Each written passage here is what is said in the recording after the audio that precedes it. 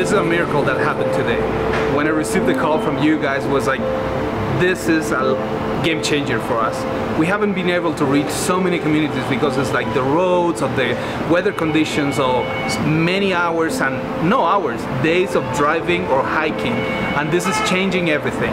Thanks to you guys we're going to be able to reach communities that haven't been reached yet with medicine, clean water, clothes, food supplies. So this is amazing. Thank you so much.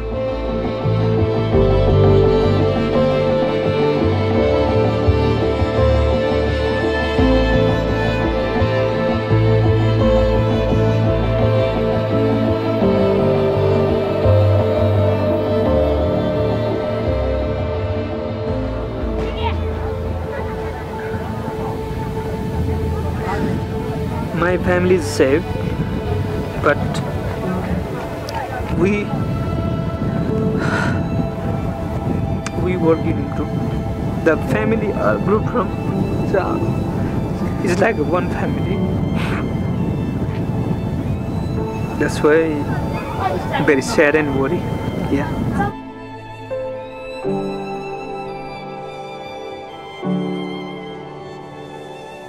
Thank you.